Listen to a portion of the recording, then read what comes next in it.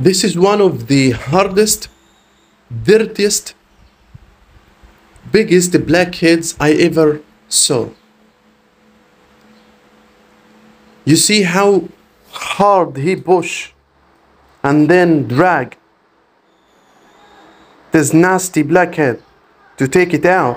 But still, you know, it's a huge. See, he has two near, I think this is behind the ear. Oh my god, this is very dirty, very nasty. See how much hard it is. It's like a stick, not a fat, a dirt fat.